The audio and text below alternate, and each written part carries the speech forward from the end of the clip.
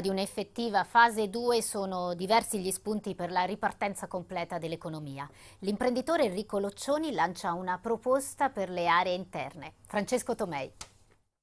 Già in crisi prima del coronavirus, colpite dal sisma e dalla deindustrializzazione, le aree interne rischiano un nuovo pesantissimo impatto, con inevitabile impulso a un ulteriore spopolamento e all'invecchiamento demografico. Da queste premesse nasce una proposta che arriva dal mondo dell'impresa, attirare qui insediamenti produttivi dal nord per valorizzare competenze giovani e formate, portare dunque qui il lavoro anziché esportare capitale umano con l'emigrazione comuni che sono eh, sotto i 3.000 abitanti, fino a 3.000 abitanti o fino a 5.000, eh, che naturalmente possono in qualche modo essere attrattivi come paesaggi, come borghi, non solo per il turismo, che pure è stato fatto un gran bel lavoro, ma possono essere attrattivi per eh, delle, delle, delle nuove attività che magari vengono svolte nelle periferie urbane, nelle periferie limitrofe. Se la Loccioni non ha mai chiuso in quanto parte di filiere strategiche come quella aerospaziale, altri settori si stanno ancora interrogando su come ripartire.